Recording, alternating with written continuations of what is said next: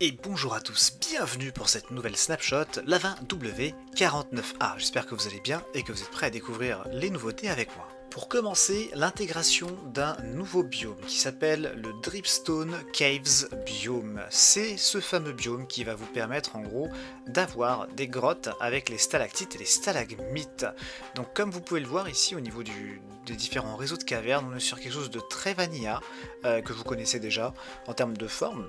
Par contre, effectivement, de temps en temps, voilà, on trouve des stalagmites, euh, on trouve des blocs, des stalactites et euh, c'est plutôt intégré slash complètement remplacé euh, à la forme qu'il y a actuellement. de temps en temps, vous pouvez trouver du coup euh, des blocs aussi au niveau de l'eau, mais dans l'ensemble, tiens voilà, on en a pas mal ici. Dans l'ensemble, il n'y a rien pour l'instant de très très particulier sur la génération, mis à part que ça s'est adapté et c'est complètement intégré en fait aux formes que vous connaissiez déjà. Au niveau des, au niveau comment dirais-je, des ravins, vous pouvez des failles, vous pouvez trouver par contre des formes beaucoup plus importantes ou euh, euh, des, couvertures beaucoup plus importantes de ce bloc. Comme vous voyez ici, il y en a beaucoup, beaucoup plus. Donc voilà, il semblerait que pour pouvoir farmer facilement, même si ce bloc n'est pas très rare, pour les farmer très facilement, ce soit plus simple de trouver une faille pour pouvoir en récolter en très très grand nombre. Je vais juste regarder s'il n'y a pas une autre faille qui... Non, si c'est la même et elle continue. Tiens, regardez ici, voilà, vous avez un gros gros bloc, tiens, glitché dans un, mine, euh, dans un mineshaft. Et comme vous le voyez, il y a énormément de blocs générés au niveau des failles. Donc il semblerait que ce soit le spot pour pouvoir les farmer. Pour pouvoir générer ce type de biome, lorsque vous créez votre monde, vous pouvez le choisir dans la liste des biomes euh, présents en sélectionnant du coup la Dripstone Caves Biome. Sur les modifications mineures, vous allez trouver deux choses. La première chose, ce sont les bundles. Vous voyez le fullness 0 sur 64, ça a été intégré à la dernière snapshot, et maintenant il n'y a plus besoin de faire de petits raccourcis pour le faire apparaître, comme pour la durabilité euh, des items par exemple, c'est présent par défaut, ce qui paraît plutôt cohérent. Euh, comme ça du coup, euh, vous aurez toujours l'évolution en fait du nombre d'items dans votre bundle. La deuxième amélioration mineure, c'est concernant justement les stalactites. Vous pouvez maintenant, en fait, les poser en faisant Shift. Et en faisant Shift, ça ne se connecte pas. Là où on avait vu que la dernière fois, on avait cette petite connexion qui s'effectuait ici. Maintenant, vous pouvez choisir euh, et forcer le fait que ces deux blocs ne se connectent plus du tout. Vous l'avez entendu, et c'est le bloc jusqu'à maintenant de la snapshot, ça s'appelle le Skulk Sensor. Donc ce bloc pour l'instant n'est ni craftable ni euh, obtenable dans le monde quand vous le générez, hein. il est présent quand vous êtes ici en game mode. Donc voilà ce petit bloc avec l'animation que vous voyez ici autour. C'est un bloc qui est, euh, je dirais, qui est de la taille d'une slab. Tiens, on va vérifier. J'ai l'impression que ça fait la taille d'une slab. En tout cas, vous pouvez monter dessus sans sauter. Ouais, c'est exactement ça. Il fait exactement la taille euh, d'une slab. Vous avez les petites animations qui sont ici au-dessus, avec une couleur qui est différente. Et on se retrouve du coup avec une mécanique complètement nouvelle dans Minecraft, l'utilisation des sons. Jusqu'à maintenant, on n'avait pas d'utilisation par rapport à ça. Euh, et vous allez avoir deux notions en fait. C'est que bah, le son, forcément, sur, euh, on est sur différents sons euh, qui sont émis dans le jeu et surtout différentes fréquences. Et grâce à ces fréquences-là, on va pouvoir s'amuser euh, et faire énormément de choses. Donc, première chose, déjà, euh, quand vous faites Shift, vous voyez qu'ici, voilà, il n'y a rien qui s'enclenche. Il n'y a aucun son qui s'enclenche. Donc, le Shift permet d'inhiber à chaque fois l'enclenchement de ce sensor. Comme vous le voyez ici, on a une texture qui est plutôt foncée, très noire. Et dès que je fais un peu de son, voilà, on a une espèce de vague et vous avez vu, ça devient très, ça devient très clair, regardez, très très clair. Et dès que je marche, bam bam bam bam. Alors, on a un son qui est très particulier.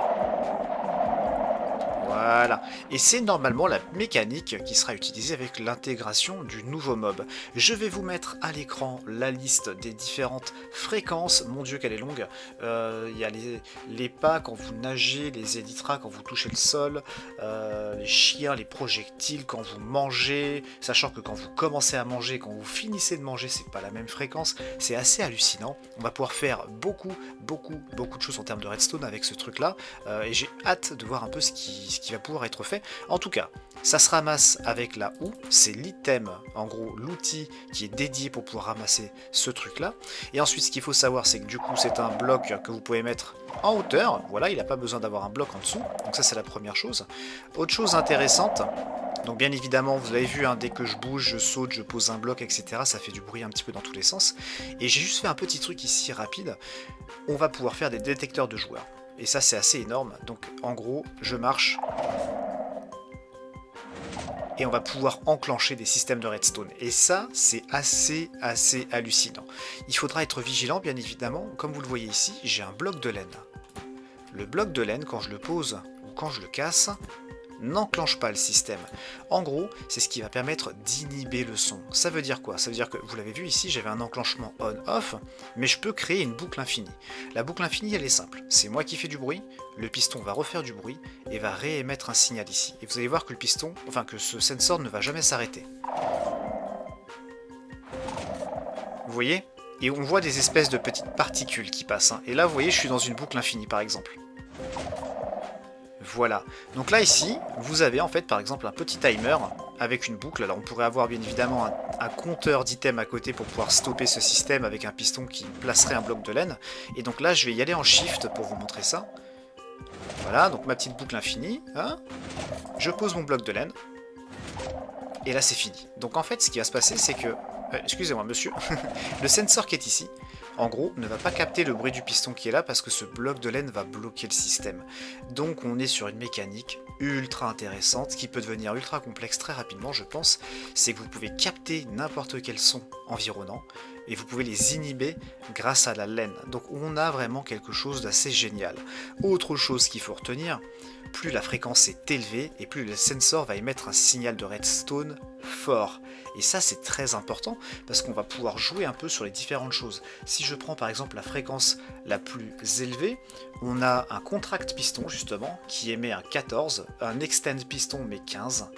Euh, si vous prenez une explosion, c'est 15, mais bon, l'explosion, c'est pas le plus rentable quand vous faites de la redstone.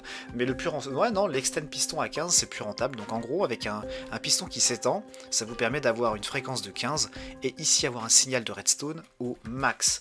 Inversement, je regarde ma petite liste en même temps. Voilà, inversement, lorsque vous marchez, vous émettez un signal de 1. Donc ça veut dire que du coup, ce signal est très faible. Et donc tout ça, ça va vous permettre d'avoir des mécaniques juste magiques. Ça veut dire quoi? Ici, vous avez vu en fait la fréquence. En fait, vous voyez ici la fréquence s'étend. Voilà. Et donc plus ça s'étend et plus ça perd en signal en fait. Et ça, franchement, la redstone là-dessus, elle va être monstrueuse. Je vous dis, hein, là on est sur du détecteur de joueurs, sur, euh, on va pouvoir faire quelque chose de juste de magique en fait avec ça. Voilà, voilà. Bon, euh, on a fait le tour de cette euh, snapshot. maintenant, il faut surtout faire travailler un petit peu les ménages et voir un peu ce qu'on peut faire. J'ai bien envie d'être testé moi dans mon coin, voir un peu ce que je peux faire aussi là-dessus. En tout cas, on est sur vraiment quelque chose d'ultra, ultra sympathique. J'espère que cette petite snapshot vous aura plu. N'hésitez pas à me dire en commentaire ce que vous pensez faire de ce bloc-là en termes de système redstone parce qu'il y a beaucoup d'idées. Et puis en tout cas voilà, merci d'avoir regardé. Dernière chose avant que j'oublie, c'est juste ici, je sais pas si je l'avais dit, ça s'étend en gros dans un cercle de 8 blocs. Donc dès qu'en gros je suis éloigné de plus de 8 blocs, il ne se passe Hop, plus rien, voilà, il m'entend pas, tout simplement. Allez, des gros bisous, merci énormément d'avoir regardé, n'hésitez pas à liker et à vous abonner si ce n'est pas encore fait, et à très bientôt, bye bye.